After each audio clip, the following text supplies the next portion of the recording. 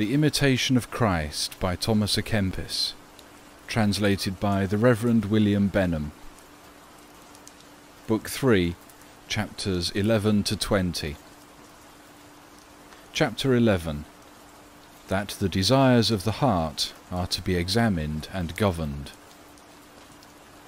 My son, thou hast still many things to learn, which thou hast not well learned yet. What are they, Lord? To place thy desire altogether in subjection to my good pleasure, and not to be a lover of thyself, but an earnest seeker of my will.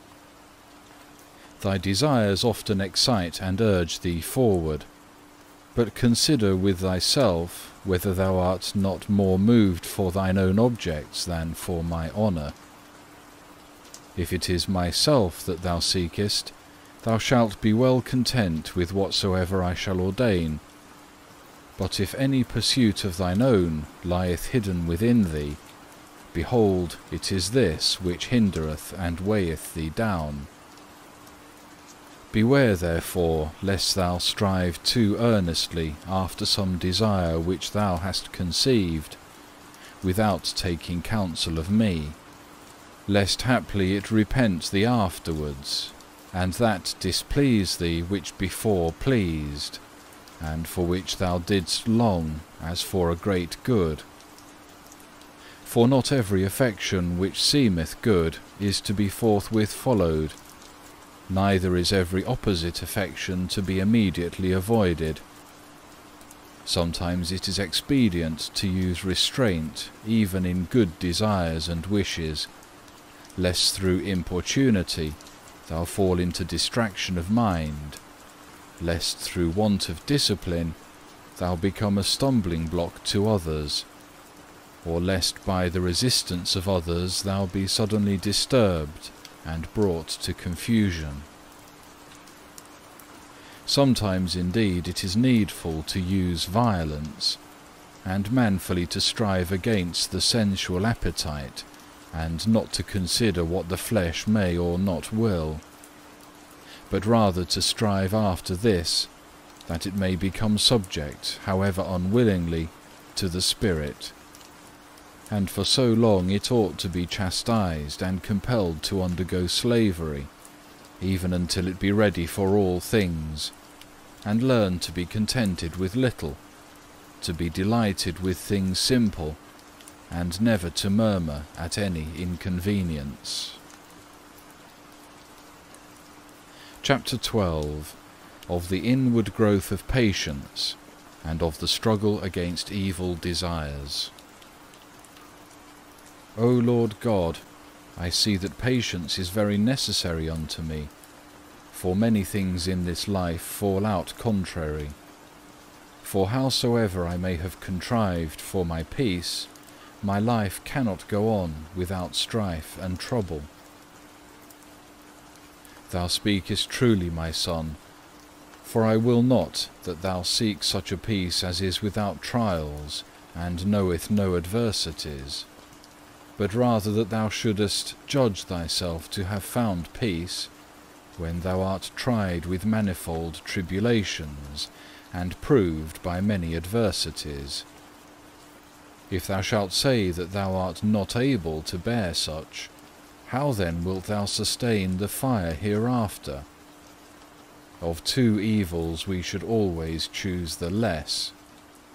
Therefore, that thou mayest escape eternal torments hereafter, strive on God's behalf to endure present evils bravely. Thinkest thou that the children of this world suffer naught or but little thou wilt not find it so, even though thou find out the most prosperous. But thou wilt say, They have many delights, and they follow their own wills, and thus they bear lightly their tribulations. Be it so, grant that they have what they list, but how long thinkest thou would it last? Behold, like the smoke, those who are rich in this world will pass away, and no record shall remain of their past joys. Yea, even while they yet live, they rest not without bitterness and weariness and fear. For from the very same thing wherein they find delight, thence they oftentimes have the punishment of sorrow. Justly it befalleth them, that because out of measure they seek out and pursue pleasures, they enjoy them not without confusion and bitterness. Oh, how short, how false, how inordinate and wicked are all these pleasures! Yet because of their sottishness and blindness, men do not understand, but like brute beasts, for the sake of a little pleasure of this corruptible life, they incur death of the soul. Thou therefore, my son, go not after thy lusts, but refrain thyself from thine appetites. Ecclesiasticus 18 verse 30. Delight thou in the Lord, and he shall give thee thy heart's desire. Psalm 37 verse 4. For if thou wilt truly find delight, and be abundantly comforted of me, Behold, in the contempt of all worldly things and in the avoidance of all worthless pleasures shall be thy blessing, and fullness of consolation shall be given thee. And the more thou withdrawest thyself from all solace of creatures, the more sweet and powerful consolations thou shalt find. But at the first thou shalt not attain to them, without some sorrow and hard striving. Long accustomed habit will oppose, but it shall be overcome by better habit. The flesh will murmur again and again, but will be restrained by fervour of spirit. The old serpent will urge and embitter thee, but will be put to flight by prayer. Moreover, by useful labour his entrance will be greatly obstructed. Chapter 13 Of the obedience of one in lowly subjection, after the example of Jesus Christ. My son, he who striveth to withdraw himself from obedience, withdraweth himself also from grace, and he who seeketh private advantages loseth those which are common unto all. If a man submit not freely and willingly to one set over him, it is a sign that his flesh is not yet perfectly subject to himself, but often resisteth and murmureth.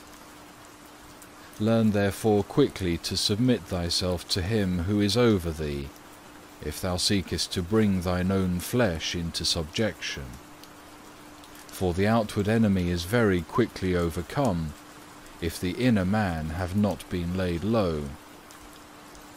There is no more grievous and deadly enemy to the soul than thou art to thyself, if thou art not led by the Spirit. Thou must not altogether conceive contempt for thyself, if thou wilt prevail against flesh and blood, because as yet thou inordinately lovest thyself, Therefore thou shrinkest from yielding thyself to the will of others. But what great thing is it that thou, who art dust and nothingness, yieldest thyself to man for God's sake, when I, the Almighty and the Most High, who created all things out of nothing, subjected myself to man for thy sake. I became the most humble and despised of men, that by my humility thou mightest overcome thy pride. Learn to obey, O dust. Learn to humble thyself, O earth and clay, and to bow thyself beneath the feet of all. Learn to crush thy passions, and to yield thyself to all subjection. Be zealous against thyself, nor suffer pride to live within thee, but to show thyself subject and of no reputation, that all may be able to walk over thee, and tread thee down as the clay in the streets. What hast thou, O foolish man, of which to complain? What, O vile sinner, canst thou answer those who speak against thee, seeing thou hast so often offended God, and many a time hast deserved hell? But mine eye hath spared thee, because thy soul was precious in my sight, that thou mightest know my love and mightest be thankful for my benefits, and that thou mightest give thyself altogether to true subjection and humility, and patiently bear the contempt which thou meritest. Chapter 14 Of meditation upon the hidden judgments of God, that we may not be lifted up because of our well-doing. Thou sendest forth thy judgments against me, O Lord, and shakest all my bones with fear and trembling, and my soul trembleth exceedingly. I stand astonished, and remember that the heavens are not clean in thy sight. Job 15, verse 15. If thou chargest thine angels with folly, and did spare them not, then how shall it be unto me? Stars have fallen from heaven, and what shall I dare, who am but dust? They whose works seem to be praiseworthy fell into the lowest depths, and they who did eat angels' food, them have I seen delighted with the husks that the swine do eat. There is therefore no holiness if thou, O Lord, withdraw thine hand. No wisdom profiteth if thou leave off to guide the helm. No strength availeth if thou cease to preserve. No purity is secure if thou protect it not. No self-keeping availeth if thy holy watching be not there. For when we are left alone, we are swallowed up and perish. But when we are visited, we are raised up and we live. How indeed we are unstable, but are made strong through Thee. We grow cold, but are rekindled by Thee. Oh, how humbly and abjectly must I reckon of myself, how must I weigh it as nothing, if I seem to have nothing good. Oh, how profoundly ought I to submit myself to Thy unfathomable judgments, O Lord, when I find myself nothing else save nothing, and again nothing. O weight unmeasurable, O ocean which cannot be crossed over, where I find nothing of myself, save nothing altogether. Where then is the hiding place of glory, where the confidence begotten of virtue. All vainglory is swallowed up in the depths of thy judgments against me. What is all flesh in thy sight? For how shall the clay boast against him that fashioned it? Psalm 29 verse 16 how can he be lifted up in vain speech whose heart is subjected in truth to God? The whole world shall not lift him up whom truth hath subdued. Nor shall he be moved by the mouth of all who praise him, who hath placed all his hope in God. For they themselves who speak, behold, they are all nothing for they shall cease with the sound of their words, but the truth of the Lord endureth for ever. Psalm 117 verse 2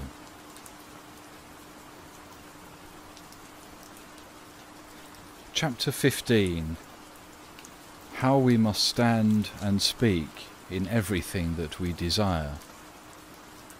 My son, Speak thou thus in every matter. Lord, if it please thee, let this come to pass. Lord, if this shall be for thine honour, let it be done in thy name. Lord, if Thou see it good for me, and approve it as useful, then grant me to use it for Thy honour. But if Thou knowest that it shall be hurtful unto me, and not profitable for the health of my soul, take the desire away from me. For not every desire is from the Holy Ghost, although it appear to a man right and good. It is difficult to judge with certainty whether a good or an evil spirit move thee to desire this or that, or whether thou art moved by thine own spirit. Many have been deceived in the past who seemed at the beginning to be moved by a good spirit. Therefore whatsoever seemeth to thee desirable, thou must always desire and seek after it with the fear of God and humility of heart, and most of all, must altogether resign thyself and commit all unto me, and say, Lord, Thou knowest what is best, let this or that be according as Thou wilt. Give what Thou wilt, so much as thou wilt, when thou wilt. Do with me as thou knowest best, and as best shall please thee, and as shall be most to thine honour. Place me where thou wilt, and freely work thy will with me in all things. I am in thine hand, and turn me in my course. Behold, I am thy servant, ready for all things for I desire to live not to myself but to Thee. O that I might live worthily and perfectly. A prayer to be enabled to do God's will perfectly. Grant me Thy grace, most merciful Jesus, that it may be with me and work in me and persevere with me even unto the end Grant that I may ever desire and wish whatsoever is most pleasing and dear unto Thee. Let Thy will be mine, and let my will always follow Thine, and entirely accord with it. May I choose and reject whatsoever Thou dost. Yea, let it be impossible for me to choose or reject, except according to Thy will. Grant that I may die to all worldly things, and for Thy sake love to be despised and unknown in this world. Grant unto me above all things that I can desire to rest in Thee, and that in Thee my heart may be at peace. Thou art the true peace of the heart, Thou alone its rest. Apart from Thee all things are hard and unquiet. In Thee alone, the Supreme and Eternal God, I will lay me down in peace and take my rest. Amen. Psalm 4, verse 9. Chapter 16 that true solace is to be sought in God alone. Whatsoever I am able to desire or to think of for my solace, I look for it not here, but hereafter. For if I alone had all the solaces of this world, and were able to enjoy all its delights, it is certain that they could not endure long. Wherefore, O my soul, thou canst be fully comforted and perfectly refreshed only in God, the Comforter of the poor, and the Lifter up of the humble. Wait but a little while, my soul. Wait for the divine promise, and thou shalt have abundance of all good things in heaven. If thou longest too inordinately for the things which are now, thou shalt lose those which are eternal and heavenly. Let temporal things be in the use, eternal things in the desire. Thou canst not be satisfied with any temporal good, for thou wast not created for the enjoyment of these. Although thou hadst all the good things which ever were created, yet couldst not thou be happy and blessed. All thy blessedness and thy felicity lieth in God, who created all things. Not such felicity as seemeth good to the foolish lover of the world, but such as Christ's good and faithful servants wait for, and as the spiritual and pure in heart sometimes taste, whose conservation is in heaven. Philippians 3 verse 20 All human solace is empty and short-lived. Blessed and true is that solace which is felt inwardly, springing from the truth.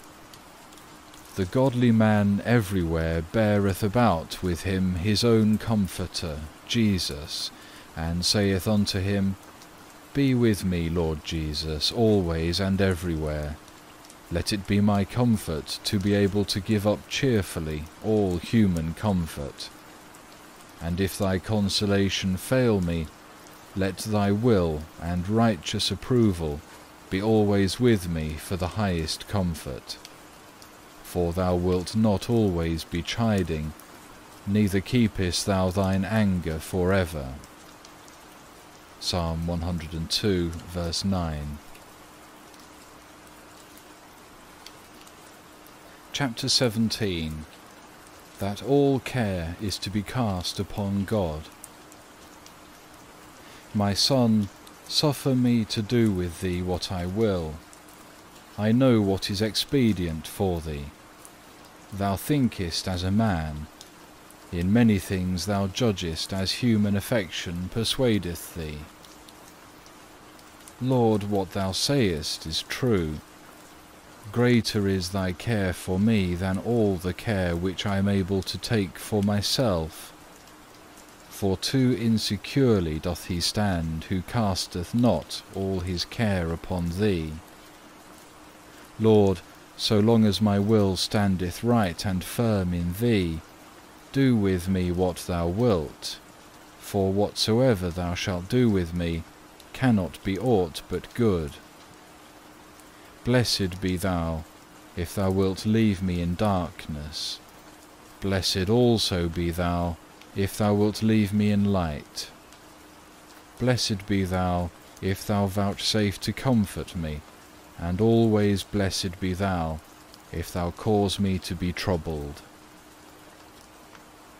My Son, even thus must Thou stand, if Thou desirest to walk with me. Thou must be ready alike for suffering or rejoicing. Thou must be poor and needy, as willingly as full and rich. Lord, I will willingly bear for Thee whatsoever Thou wilt have to come upon me. Without choice I will receive from Thy hand good and evil, sweet and bitter, joy and sadness, and will give Thee thanks for all things which shall happen unto me. Keep me from all sin, and I will not fear death nor hell. Only cast me not away for ever, nor blot me out of the book of life. Then no tribulation which shall come upon me shall do me hurt. Chapter 18 that temporal miseries are to be borne patiently after the example of Christ. My Son, I came down from heaven for thy salvation. I took upon me thy miseries, not of necessity, but drawn by love, that thou mightest learn patience, and mightest bear temporal miseries without murmuring. For from the hour of my birth until my death upon the cross, I ceased not from bearing of sorrow. I had much lack of temporal things. I oftentimes heard many reproaches against myself. I gently bore contradictions and hard words. I received ingratitude for benefits, blasphemies for my miracles, rebukes for my doctrine.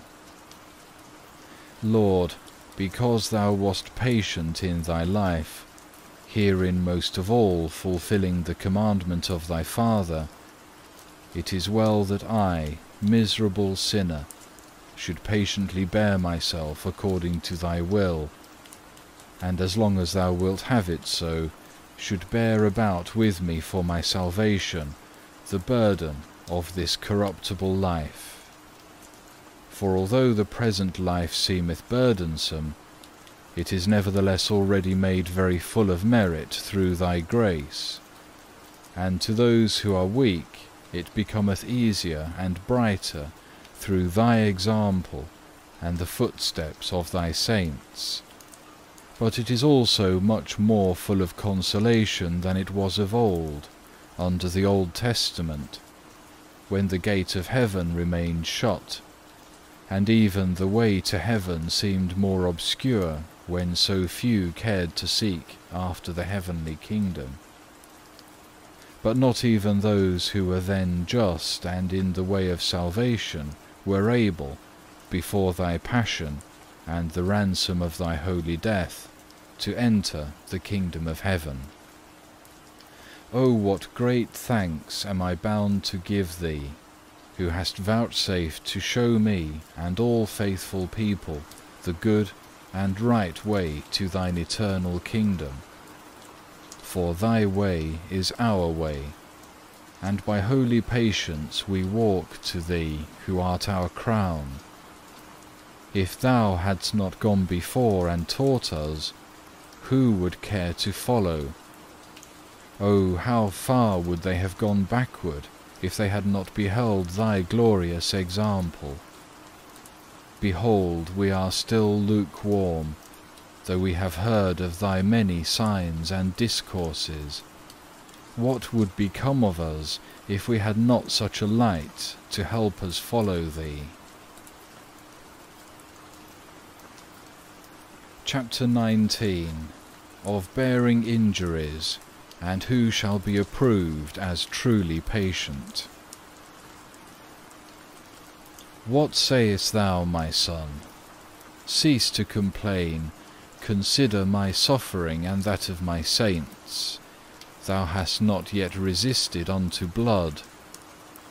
Hebrews 12 verse 4 It is little which thou sufferest in comparison with those who have suffered so many things, have been so strongly tempted, so grievously troubled, so many wise proved and tried. Thou oughtest therefore to call to mind the more grievous sufferings of others, that thou mightest bear thy lesser ones more easily. And if they seem not to thee little, see that it is not thy impatience which is the cause of this.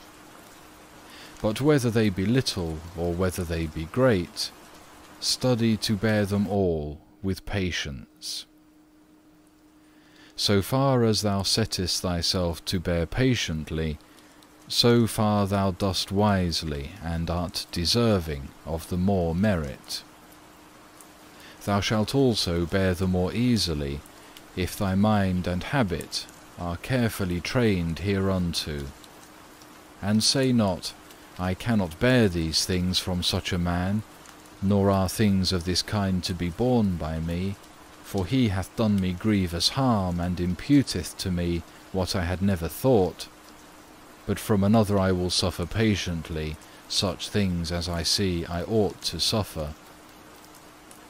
Foolish is such a thought as this, for it considereth not the virtue of patience, nor by whom that virtue is to be crowned, but it rather weigheth persons and offences against self. He is not truly patient, who will only suffer as far as seemeth right to himself, and from whom he pleaseth. But the truly patient man considereth not by what man he is tried, whether by one above him, or by an equal or inferior, whether by a good and holy man, or a perverse and unworthy, but indifferently from every creature, whatsoever, or how often soever adversity happeneth to him, he gratefully accepteth all from the hand of God, and counteth it great gain. For with God nothing which is born for his sake, however small, shall lose its reward. Be thou therefore ready for the fight, if thou wilt have the victory. Without striving, thou canst not win the crown of patience. If thou wilt not suffer, thou refusest to be crowned. But if thou desirest to be crowned, strive manfully, endure patiently. Without labour thou drawest not near to rest, nor without fighting comest thou to victory. Make possible to me, O Lord, by grace what seemeth impossible to me by nature. Thou knowest how little I am able to bear, and how quickly I am cast down when a like adversity riseth up against me. Whatsoever trial of tribulation may come to me, may it become unto me pleasing and acceptable. For to suffer and be vexed for Thy sake is exceeding healthful to the soul. Chapter 20 Of confession of our infirmity and of the miseries of this life. I will acknowledge my sin unto Thee. Psalm 32, verse 5.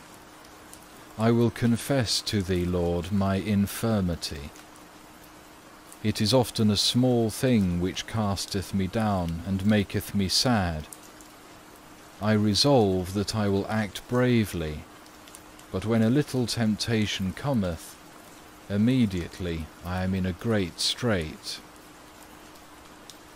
Wonderfully small sometimes is the matter whence a grievous temptation cometh, and whilst I imagine myself safe for a little space, when I am not considering, I find myself often almost overcome by a little puff of wind.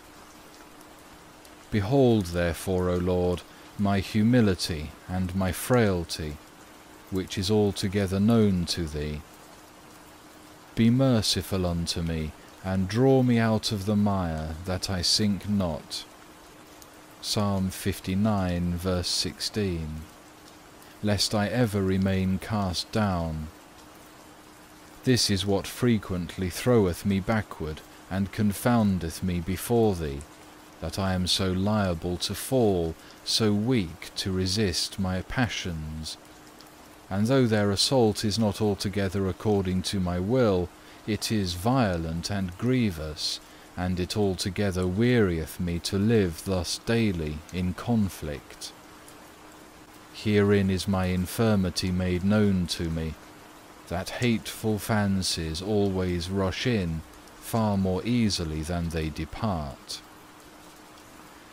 O that Thou, most mighty God of Israel, lover of all faithful souls, wouldst look upon the labour and sorrow of thy servant, and give him help in all things whereunto he striveth.